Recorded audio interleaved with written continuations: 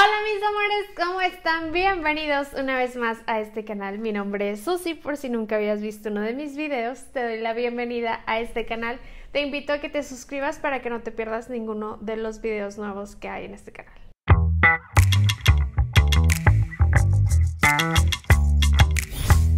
Estoy súper contenta porque el día de hoy te voy a mostrar toda la colección de los labiales Superstay Vinyl Ink de Maybelline. Estos labiales se hicieron famosísimos en TikTok y bueno, ya tengo toda la colección. Me tardé un poquito, pero pues no conseguía todos los tonos. Por lo general están fuera de stock. ¿Dónde los conseguí? Unos los conseguí en Amazon, otros los conseguí en el supermercado, en Walmart y otros en Mercado Libre. Así es que, bueno, de hecho los de Mercado Libre los conseguí en descuento, así es que me salió mucho mejor de precio.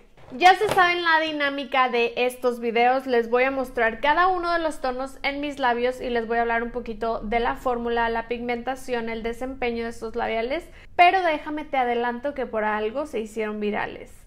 Vamos a comenzar con los swatches. Ok, mis chicos, vamos a comenzar con el primer tono. En pantalla estarás viendo cómo se ve el, el color eh, de mis labios, que procuré que se viera como lo más natural.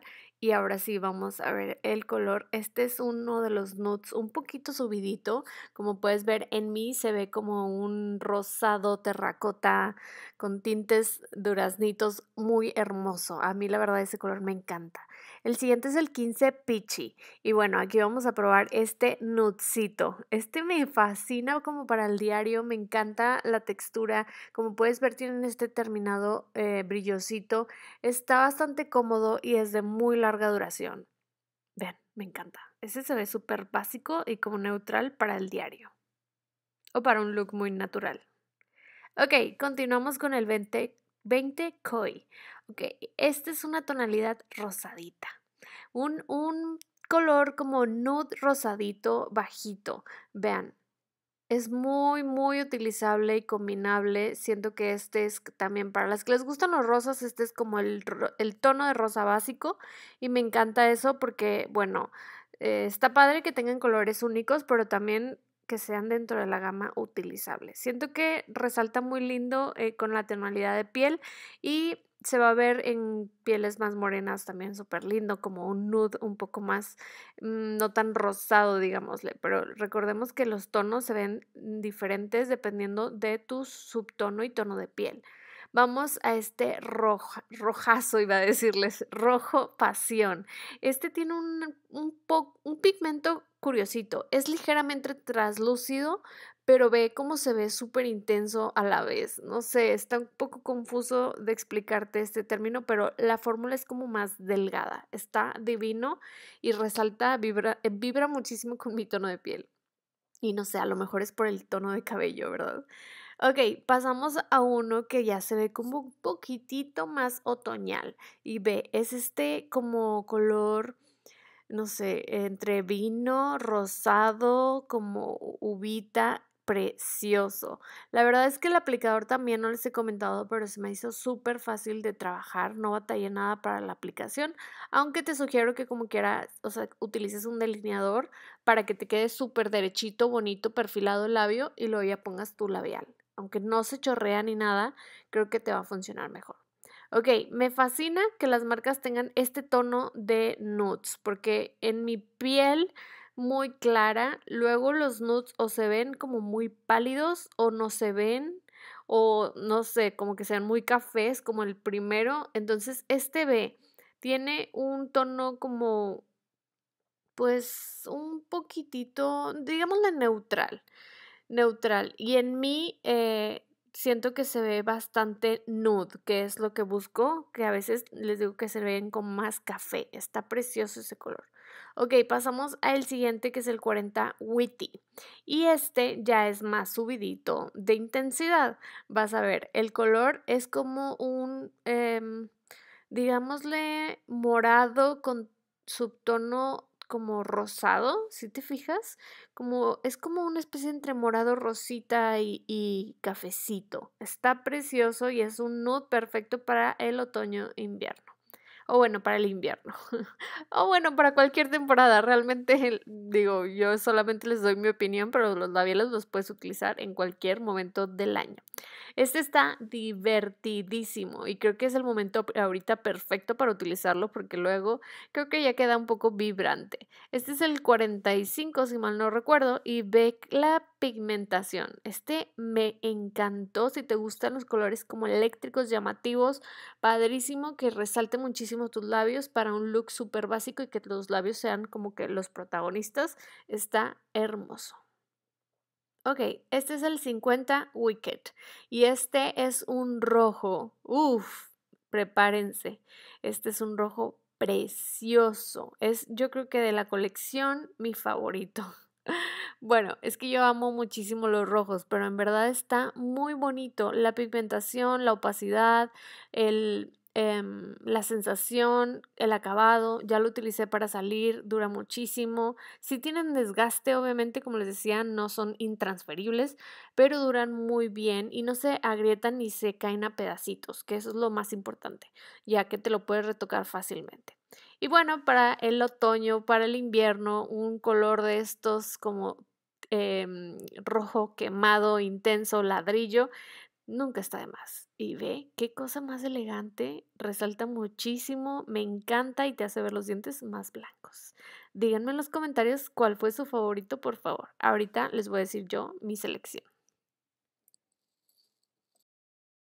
¿Qué tal los swatches, mis amores? ¿Cuáles fueron sus favoritos? La verdad es que estuvo difícil. Tiene una gama muy variada y muy, muy favorecedora a mi parecer. Creo que todos los colores me gustaron. O sea, no hubo uno que dijera, este jamás me lo pondría. No, todos me gustaron. Pero obvio tengo algunos favoritos. Te los voy a presentar. El 15 es el Peachy. Qué hermoso. Un nude perfecto para mi tonalidad de piel. Obviamente no se los va a ver igual a todas porque influye el subtono del labio que tú tengas, sobre todo en los nudes. Si tienes los labios muy pigmentados o si los tienes muy pálidos, tiene algo que ver ahí, influye un poco el reflejo de cómo se ve el labial. Entonces, en mi caso, el tono 15 me encantó, se ve hermoso, que es un nude precioso. Después tengo este otro que es el 30 Unre Unrevaled, que es el 30. Está divino, un color más subidito, más como... Eh, como rosado moradoso, muy bonito.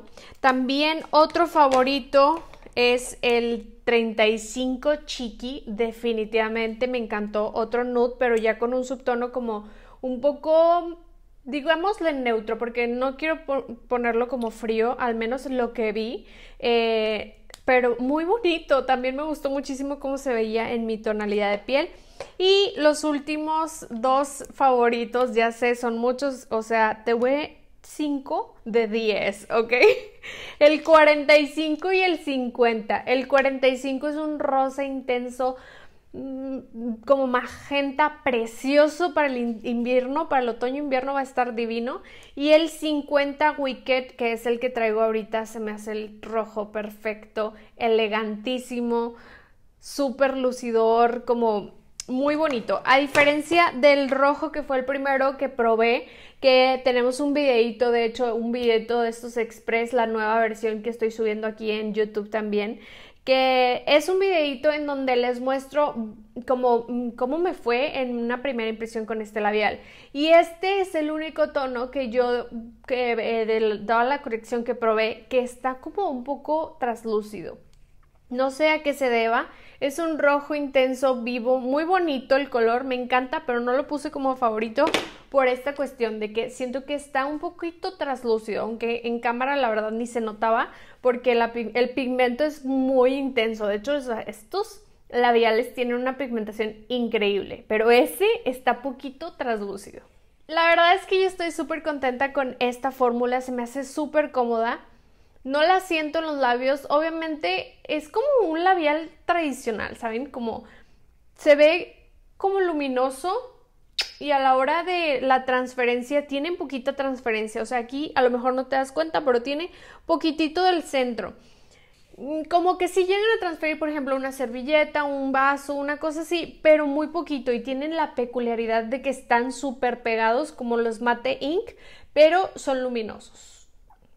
Ya sé, cuesta un poco de trabajo entender esta, esta diferencia en las fórmulas, esta novedad en las fórmulas, pero creo que es lo que, lo que está en tendencia por lo que las marcas se, se rigen, que sea de larga duración, pero que no se vea seco, mate o deshidratados tus labios. Y la verdad esta fórmula lo logra bastante bien, me encantó. Me gustó muchísimo conocerla, probar todos los tonos. Obviamente los van a ver en mis siguientes tutoriales porque voy a estarlos utilizando muchísimo. Me encantaría saber si tú ya probaste esta fórmula, si te gustó o no te gustó tanto. Eh, como recomendación te diría que no pongas mucha cantidad de producto porque si pones mucho, este labial, haz de cuenta que se siente como húmedo, pero luego se empieza como a ser pegajoso y luego se va como pegando a tus labios. Entonces si pones muchísima cantidad, como que se, se siente incómodo, como pues como una plastilina en tus labios rara. Entonces, poquita cantidad, una pasada y es suficiente porque son súper pigmentados. Les recuerdo que en este canal tenemos muchísimas colecciones de labiales probándolas y haciéndoles reseña, en mi opinión, para que puedas diferenciar un poco los tonos y sepas cuál elegir a la hora de estar ya ahí en el supermercado. También como consejo te doy que los busques en Amazon o en Mercado Libre porque frecuentemente están un poco más económicos de precio. Te mando muchísimos besos, te dejo mis redes sociales en pantalla, arroba hola.susi, allá me encuentras con muchísimo más contenido sobre el mundo de la belleza y del cabello. Que tengas un hermoso día y nos vemos muy pronto en un próximo video. Bye.